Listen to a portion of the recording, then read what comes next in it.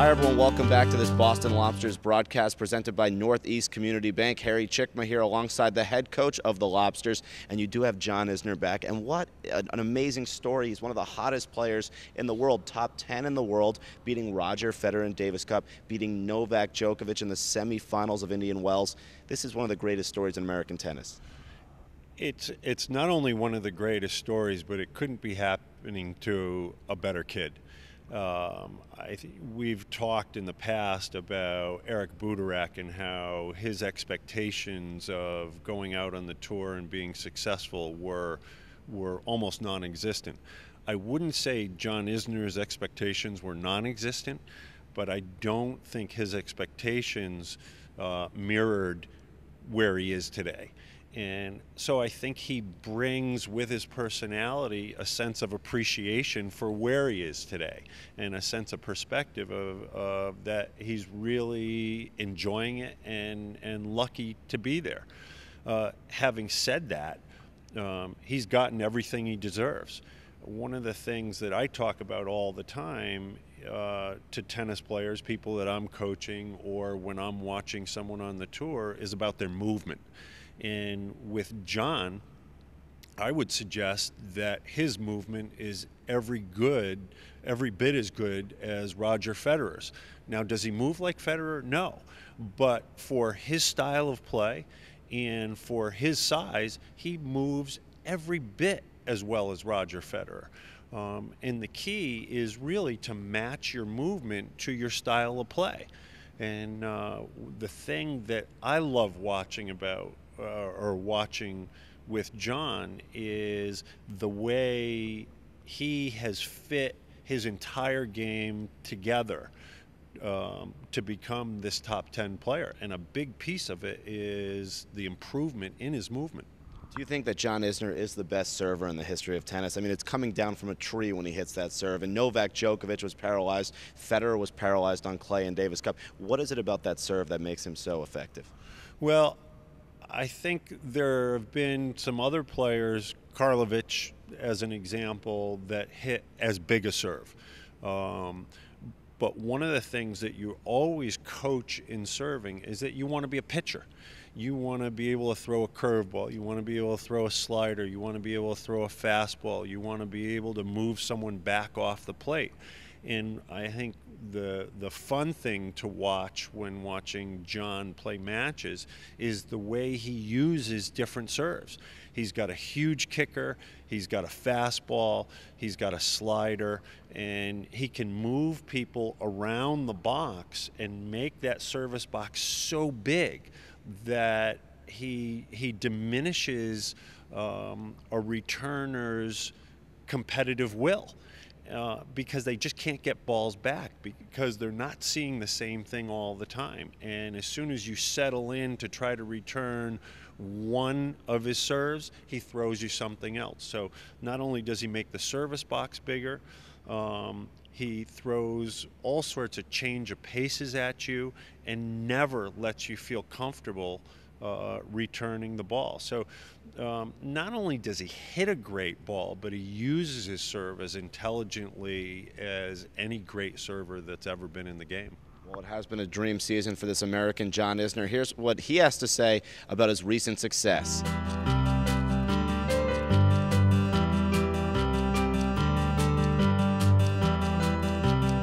Anytime American star John Isner takes the court with the Lobsters, it makes headlines throughout the world. At 6 feet 9 inches, he is one of the most feared competitors on the court, and he's currently top 10 in the world thanks to impressive wins over Novak Djokovic in the semifinals at Indian Wells and Roger Federer at the Davis Cup.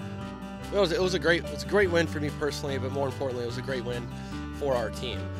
Know, I was playing second that day on Friday, and you know, I think Marty did absolutely. He did a great job taking a lot of pressure off me because you know we had the 1-0 lead. Had we been down 0-1, it would have been a little bit of a of a different dynamic there. But we were up 1-0 going into that match. I knew I really had nothing to lose, but I also knew that um, you know that I could beat him. You know, beat Roger on that day, and that's what I did. I went out there and did it. That first first point is huge. I mean, had we been down 1-0, who knows? Maybe Rogers go out there and he doesn't feel as much pressure. So um, I think he felt the pressure to, to certainly tie the match up for Switzerland because you know we were the underdogs. You know, I guess a lot of people expected them to kind of sweep us 3-0, but since we had that 1-0 lead, he might have felt a little bit more pressure. It took pressure off me personally, so I knew at worst, you know, it was going to be 1-1 going going into the doubles. John's resume also spans well past the tennis courts. He is the only college graduate in the world's top 100, and the University of Georgia Bulldog appreciates the team atmosphere of playing for the Lobsters in Boston and for Team USA in the Davis Cup. You know, I played college tennis, so it's kind of a similar, but obviously Davis Cup is, is a bigger stage. But you know, in college tennis, when we play in a an away match, you know, there'd be 500 people, you know, wanting us to lose. You know, and all we have is just our team cheering us on. So it's very similar in Davis Cup. You know, so like I said, it was a bigger stage. It was about 7,500 people um, cheering for the Swiss, but we had a small contingent of U.S. fans. Obviously, our, you know, our teammates, my teammates, our coach, and you know the whole staff there. You know, friends and family at top, and the Grand Slam tennis tour guys. Uh, it was um, you know, it was it, it's it's fun to be able to you know play for your country out there and to be able to do it and have those guys cheer you on. One of Isner's great accolades is winning the longest tennis match of all time when he beat Nicolas Mahut in over 11 hours and 5 minutes in Wimbledon, 70 to 68 in the fifth set. He also has a very rigorous travel schedule, so he paces himself for the WTT season. Just have to try to rest as much as possible. You know, listen to your body, take care of yourself. If you know, if that means you know not practicing that extra hour just because you're tired, then you need to do so because traveling so much. It's, it's, a lot of wear and tear on the body. Um, so I think most importantly, it's just getting a lot of rest and getting a lot of sleep and just trying to feel as healthy as possible. There's no question Isner's celebrity status and unprecedented work ethic will make a major statement for the Lobsters and their title hopes. Well, it's so great to see John Isner playing well, and it's even greater that he's playing for the Lobsters because you have one of the best players in the world uh, unquestionably one of the best players in the world. To have that level of tennis come to the Boston Lobsters is going to be unbelievable for the fans, unbelievable for our team, and unbelievable for our results. Uh, every coach's dream is to have the best players and uh, to have someone show up on our doorstep like that is is is going to be a great experience for everyone, and, and particularly me as the coach. And you played college tennis. Eric Butorac played college tennis. John Isner played for the University of Georgia. What does that say about American tennis and how that can help players do well on the tour? Which is a misconception. Many people think you can't go to college and do well. You have a number of guys on your roster who prove that wrong. Well, I, I, think it adds a little perspective. I think uh, people that have gone through the college experience may have had some other life experiences that they can then bring to the tour as an asset. Um, he he has a sense of community around his tennis that uh, the foundation of which was built at Georgia um, and continues today. And I, I think it allows players to come and feel a little more at peace with who they are because they've had time to develop that side of their life, um, with why they're out there, and to have a little perspective um, and appreciation for what they're experiencing because it's been, quite honestly, a little bit of a longer road to get there. And for someone like John Isner, who is one of the best players in the world right now, playing so well, beating Roger Federer, what do you tell him as a coach? I mean, what can you possibly tell him to help his game? You know, there's a great uh, Jerry Tarkanian uh, uh, quote where I come to the practices and I roll out the balls and I let them play. Um, he, he said that back when he had five of his starters going to the NBA the next year with John, I'm going to try to stay out of the way. Um, what I will do is make sure that he's able to um, integrate into the team and inspire the rest of our players to play their best tennis as well.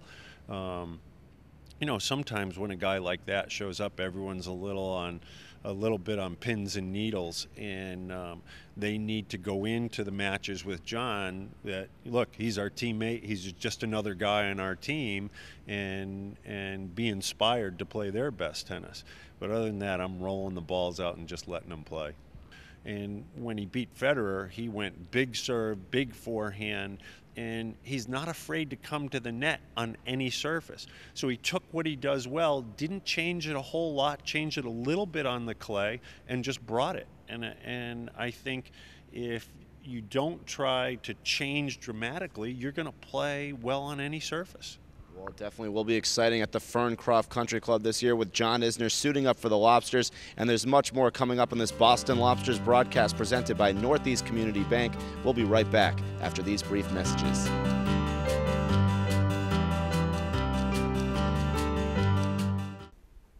Hi, everyone, and greetings from Danvers, Massachusetts. Harry Chickma here with Ken Martinek, the president, chairman, and CEO of Northeast Community Bank. A wonderful atmosphere here. You've been here for 37 years, Ken. Talk about uh, what this bank represents. Well, it's it's really truly a community bank. We don't um, compare ourselves to anyone else, or large or small. We're involved in our communities. We typically do not advertise heavily. The Lobsters is a, a unique situation Normally, what we do is we take our advertising dollars and put it back into the community as donations to organizations like the Family Festival, the Historical Society, uh, things like that. It it uh, doesn't have the rapid impact of an advertisement in the newspaper, but over time, the people in the community realize that we're here really to help support the community, help the community grow. Um, one of our one of our mantras is uh, Uh, helping our customers and our communities prosper, because when they prosper, so do we. How rewarding is that for you to be part of a bank that does that, which is kind of uncharacteristic of many banks? It is uncharacteristic, and it's absolutely great. I, I learned a long time ago. I've been here, like as you say, 37 years. One of the first things I learned from my grandfather was you hire happy people, and you can train them to do pretty much anything. You hire someone who's an expert, but with grumpy genes, and what you what you get is somebody who's grumpy and does not enjoy what they do.